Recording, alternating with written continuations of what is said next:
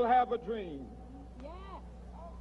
It is a dream deeply rooted in the American dream.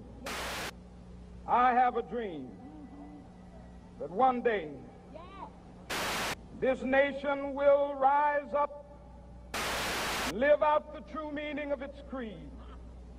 We hold these truths to be self-evident that all men are created equal.